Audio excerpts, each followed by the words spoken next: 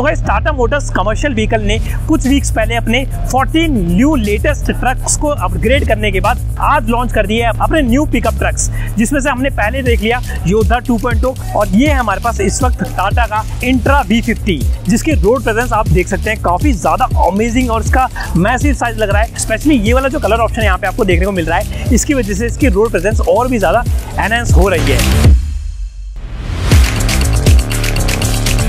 अब इस वीडियो में हम पहले इसका वर्कराउंड चेकआउट करेंगे और फिर आपको बताएँगे कि क्या ये अपने प्राइस को जस्टिफाई करता है या फिर नहीं। क्योंकि इवेंचुअली अगर आप इस टाइप का कोई पिकअप ट्रक खरीद रहे हैं तो आपको चाहिए ज़्यादा से ज़्यादा रिवेन्यू तो देखते हैं ये पिकअप ट्रक आपको ज़्यादा से ज़्यादा रिवेन्यू दे पाएगा या फिर नहीं। तो V50 टाटा इंट्रा फैमिली का latest and biggest pickup truck है। और ये पिकअप ट्रक अपने सेगमेंट में हाईएस्ट रेटेड पेलोड के साथ आता है, जो कि है 1500 किलोग्राम तो फ्रंट में यहाँ पे आपको हेलोजन हेडलैम्प्स का सेटअप मिल जाता है। ऊपर जो इंडिकेटर्स मिलते हैं, वो आपको नॉर्मल बल्ब की फॉर्म में मिलते हैं। नीचे की साइड यहाँ पे आपको हाउसिंग दी गई है फॉग लैम्प्स की बट यहाँ पे आपको फॉग लैम्प्स नहीं दिए गए हैं। रिफ्लेक्टर का ऑप्शन यहाँ पे दे दिया गया है। बंपर की बात करें तो प्लास्टिक बंपर आपको यहाँ पे मिल जाता है। और काफ़ी अपीलिंग इसका फ्रंट प्रोफ़ाइल लगता है। और यहाँ पे टाटा ने इसकी ओवरऑल लुक को बोल्ड और मस्कुलर भी कैरी फॉरवर्ड किया है, जैसे कि हम एक पिकअप ट्रक से एक्सपेक्ट करते हैं। यहाँ पे बंपर के ऊपर आपको यहाँ पे थोड़ा सा क्रोम गार्निशिंग मिलती है, जो कि अट्रैक्टिव डिज़ाइन इसे ऑफ़र करती है। वी फिफ्टीन की यहाँ पे आपको ब्रांडिंग की गई है और इंट्रा पिकअप की यहाँ पे आपको ब्रांडिंग दी गई है। काफ़ी मैसिव साइज़ का यहाँ पे आपको विंडशील्ड ग्लास मिल जाता है, जो कि आपको इजीली इसे ड्राइव करने में हेल्प करेगा, अगर आप इसे टाइट पार्किंग प्लेस में भी पार्क कर रहे हैं। इंजन ऑप्शन की बात करें गाइस तो इसमें आपको मिलता है 1.5 लीटर का टर्बो चार्ज डीजल इंजन जो प्रोड्यूस करता है nearly 79 bhp of power and 220 newton metres of torque इतना मैसिव साइज़ है इसका कि आपको उसमें एंटर करने के लिए ये फुटर्स दे दिया गया है।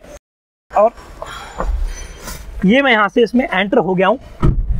और आप देख सकते हैं इजीली यहाँ पे एंटर किया जा सकता है। अब आप देख सकते हैं इसकी हाइट और लेंथ काफ़ी ज़्यादा लाजवाब है। और डेफिनेटली जब आप इसे रोड पे लेके निकलेंगे तो लोग इसके साइज़ के काफ़ी ज़्यादा दीवाने हो जाएँगे।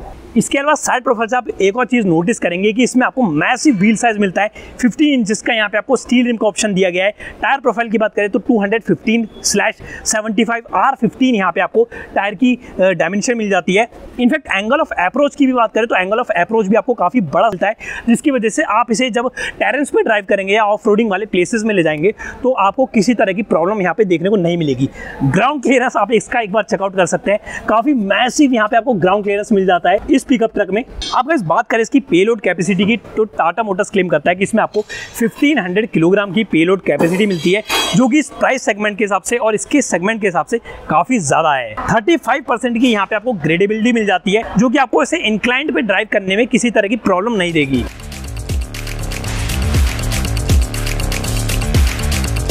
और टाटा क्लेम करता है कि V50 अपने 220 न्यूटन मीटर्स के best in class torque 35 percent की best in class gradeability and high ground clearance की वजह से urban and semi urban areas में ऑल टेरेन ऑपरेशन बड़ी आराम से परफॉर्म कर सकता है। इसके अलावा इंट्रा 50 आपको ऑफ़र करता है लॉन्गेस्ट लोडिंग एरिया या फिर लोडिंग बॉडी जो की है अप्रोक्सीमेटली 2.96 मीटर की या फिर 9.8 फीट की जिसकी वजह से आप अपना ज़्यादा से ज़्यादा सामान को इसमें लोड कर सकते हैं जो कि हेल्प करेगा आपके रिवेन्यू को इंक्रीज करने में एंड इवेंचुअली ओनर को होगा इससे ज़्यादा से ज़्यादा प्रॉफिट ओके okay, तो गाइज़ हम आ गए इंट्रा वी फिफ्टी के इंटीरियर में। यहाँ पे जो चीज़ हम सबसे पहले चेकआउट करेंगे, वो ये करेंगे कि क्या इसका कंफर्ट इतना अच्छा है भी कि आप इसे लॉन्ग जर्नी पे ले जाएँ या लॉन्ग ट्रिप्स पे ले जाएँ और आपको थकान फील ना हो। क्योंकि हम इस टाइप के पिकअप ट्रक को जब लॉन्ग जर्नीज पे ले जाते हैं, तभी हमारा रेवेन्यू जो है, वो थोड़ा सा इंप्रूव हो पाता है।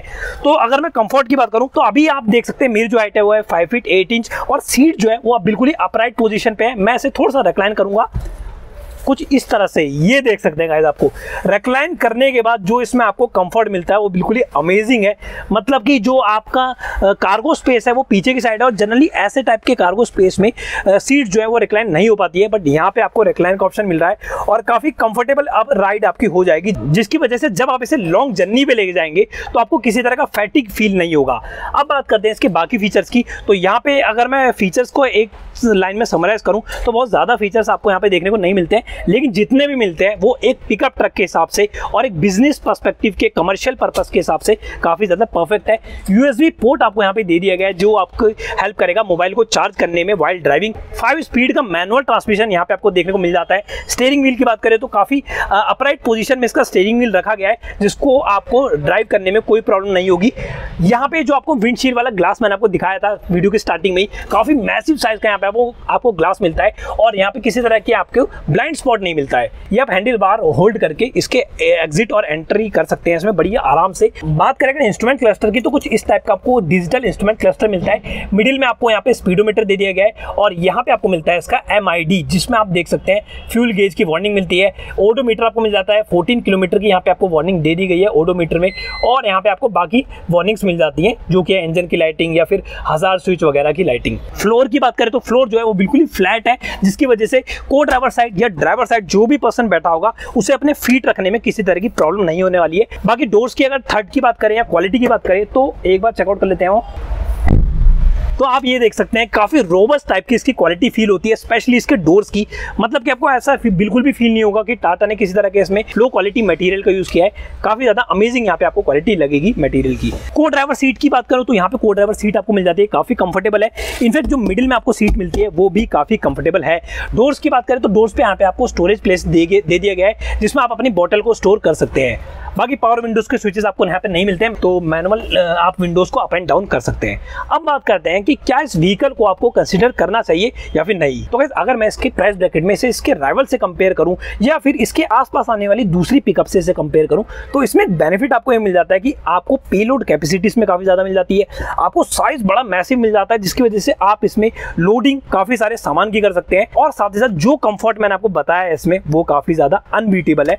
तो डेफिनेटली ये जो प्रोडक्ट है वो काफ़ी ज़्यादा वैल्यू फॉर मनी हो जाता है उन लोगों के लिए जो कि चाहते हैं वो ज़्यादा से ज़्यादा बिज़नेस कर पाए, यानी कि ज़्यादा से ज़्यादा अपने सामान को लोड कर पाए और उसकी वजह से उनका जो रेवेन्यू है वो भी ज़्यादा से ज़्यादा जनरेट हो पाए। तो डेफिनेटली ये प्रोडक्ट आपके लिए काफ़ी अच्छा ऑप्शन रहेगा। क्वालिटी पे यहाँ पे किसी तरह की कॉम्प्रोमाइज नहीं किया है टाटा ने तो वो भी एक अच्छा फैक्टर यहाँ पे आपको मिल जाता है। बाकी सेफ्टी में भी यहाँ पे किसी तरह का कॉम्प्रोमाइज आपको नहीं मिलेगा।